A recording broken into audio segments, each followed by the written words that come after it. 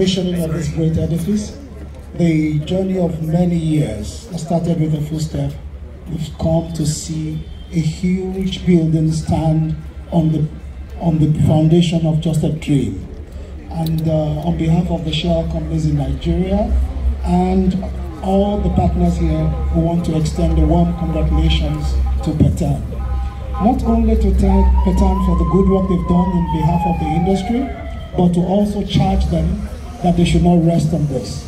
This is just the beginning, as you can see. If in the few years or 10 years of the 12 years of the NOGICD Act, a building can be standing, in another 20 years, we can imagine what PETAN can do. So on behalf of our shell companies in Nigeria, congratulations to the Board of Trustees, congratulations to the Chairman, congratulations to all the members, and more successes ahead. Congratulations. Thank you. Thank you so much, sir.